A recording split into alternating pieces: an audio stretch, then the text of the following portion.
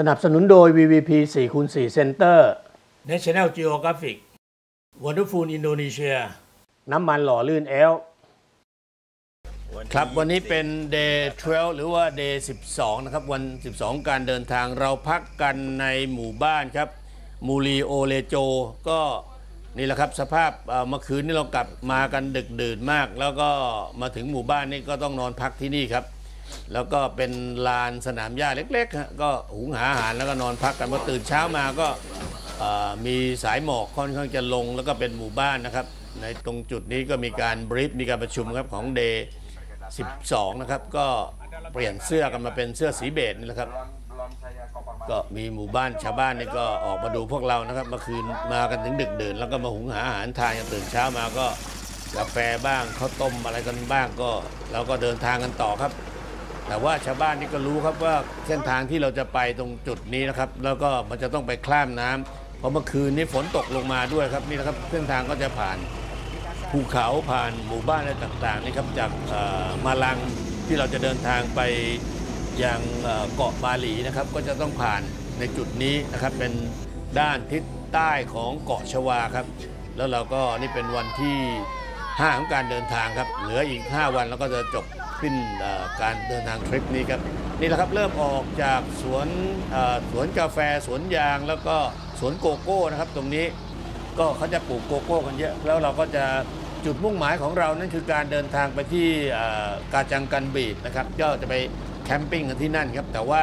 อุปสรรคตอนนี้ที่รออยู่ก็คือเอ่อเมื่อคืนนั้นฝนตกลงมาก็จะมีน้ำนะครับ เราก็จะต้องไปข้ามคลองนี่ครับสภาพ ท่านผู้ชมจะเห็นว่าบางจุดก็คล้ายๆ บ้านเราก็เป็นสวนยางนะครับ แต่ว่าไม่มีสวนปาล์มเป็นที่สูงนะครับเราก็มาผ่านหมู่บ้านนะครับเป็นหมู่บ้านสุดท้ายของหมู่บ้านคาลีบาจังนะครับ ตรงนี้ก็คนมาดูกันเยอะครับ ตรงนี้นั่นแหละบอกว่าจุดไฮไลท์ตรงนี้เป็นจุดสำคัญเลยเดียวครับที่รถกำลังจะข้ามคลองครับ 163 มาก่อนแล้วครับคันนี้หมายเลข163 ครับก็กำลังจะข้ามครับนี่นะครับ ก็พอข้ามไปหลาย ๆ คันเนี่ยไอ้ตรงแบงค์ที่ขึ้นนะครับ ด้านซ้ายมันจะเป็นหลุมลึกเพราะปั่นกันไป เพราะว่าที่มันนิ่มครับ เส้นทางมันนิ่มแล้วพอปั่นลงไปมันก็จะลึกลึกลึกล้อด้านขวาสองข้างเนี่ยจะลอยหมดนะครับ แม้จะวินอย่างไรมันก็ขึ้นลำบากนะครับเพราะฉะนั้นก็ค่อยๆทอยขึ้นไป ในคลองนั้นกลับไม่เป็นไรครับในคลองข้างล่างนั้นแข็งนะครับ แต่ว่ามาตอนจะขึ้นนะครับเป็นปัญหาใหญ่นะครับแล้วก็ทำให้ ต้องลุ้นกันนะครับ แล้วน้ำป่าก็กำลังมาด้วยนะครับ ไม่ใช่ว่าเรามีแค่นี้ในจุดนี้นะครับ ทั้งวันก็จะอยู่กว่าจะทอยข้ามไปเสร็จคนดูนี่หลายร้อยคนทีเดียวชาวบ้าน ที่มาจากหมู่บ้านก็มาดูก็วันนี้ก็มาอีกคันนะครับ เบอร์ 165 ครับ เป็นรถจี๊ปทีมเดียวกันครับ 163 165 164 นะครับ ก็เป็นทีมเดียวกัน เจอปัญหาเดียวกันนะครับ พอลุ้นขึ้นไปเนี่ยกระแทกไปปุ๊บมันก็จะติดชาวบ้านเข้าไปหาหญ้ามาให้วัวครับ เสร็จแล้วมันก็ต้องทยอยกันวินขึ้นไปนะครับ พอวินมาดู 164 ครับเป็นทีมเดียวกัน 163 165 ผ่านไปแล้วครับ 164กำลังจะขึ้นมาแต่คันนี้มานิ่มครับแล้วก็ค่อยลงไป เพราะ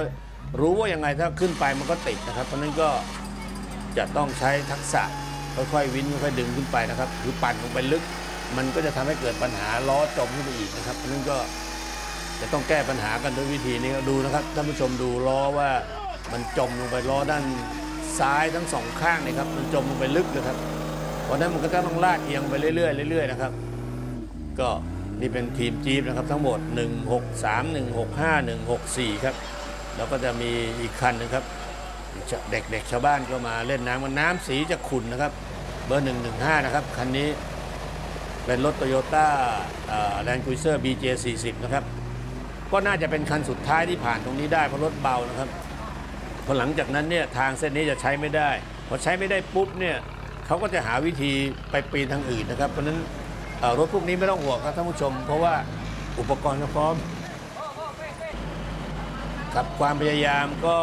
จะต้องดิ้นรนกันต่อไปครับ เพราะนั้นเนี่ยมันลาดเอียงลงไปลึกลงไปทุกขณะครับตอนนี้คือคันหลังมาเนี่ยรู้แล้วว่าถ้ามาเนี่ยไม่ไหวแน่นอนครับโอกาสที่จะดูนะครับ มันลึกมากมันปั่นลงไปเนี่ย จมจากล้อลงไปเลยครับ ต้องดันโคลนขึ้นมาเนี่ยใต้กันชนนะครับดูนะครับคันนี้พอเห็นท่าไม่ดีคันหลังเนี่ยเตรียมมาจ่อแล้วครับ แต่ว่าดูสภาพคันนี้ขนาดเป็นรถเบานะครับ ก็ยังปั่นได้ยากนี่นะครับก็ใส่หน้ากากก็เฮฮากันไปตามเรื่องตามราวครับสำหรับเบอร์ 115 นั่นแหละครับก็ลากขึ้นไปก็ต้องใช้รถคันหน้าเป็น anchor อ้าวคันนี้มีแลนด์โรเวอร์คันนี้ต้องใช้ดับเบิล ใช้ snap box นะครับ แล้วก็ double ขึ้นไปนะครับคันนี้หมายเลข 15 ครับคันนี้ก็เป็นรถเอ่อผู้บริหาร IOX ท่านหนึ่งครับ ก็คันนี้เมื่อสองสามสัปดาห์ที่แล้วนี่คว่ำไปรอบแล้วครับ มาดูที่ว่าไงบ้าง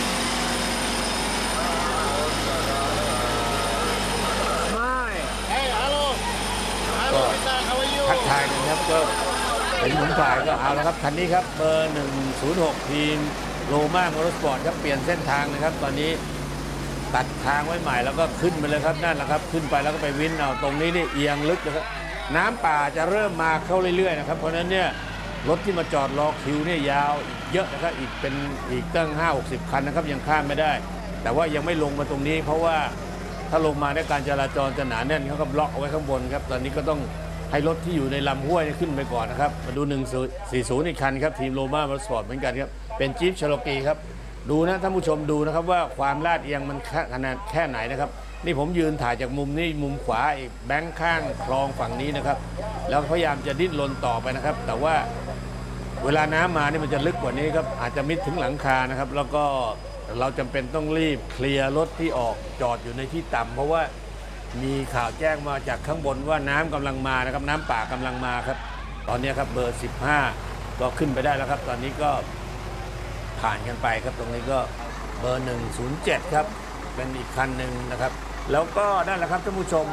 ในระหว่างที่เราวินกันข้ามไปเนี่ยครับรถเรือรถอีกกลุ่มหนึงเนี่ยไม่สามารถจะข้ามได้นะครับ แล้วก็ต้อง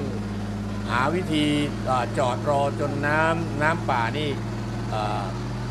น้อยลงนะครับ แล้วถึงจะข้ามมาอีกวันนะครับเป็นวันรุ่งขึ้นวันที่ 13 เพราะฉะนั้นเนี่ยในภาพวันที่ 13 เดือน13อ่าผมไม่มีให้ท่านดูนะครับ แต่ว่า ก็เพราะว่ารถมันติดอยู่ในนี้เมื่อตอนกลางคืนนะครับ แล้วก็ไม่สามารถจะผ่านไปได้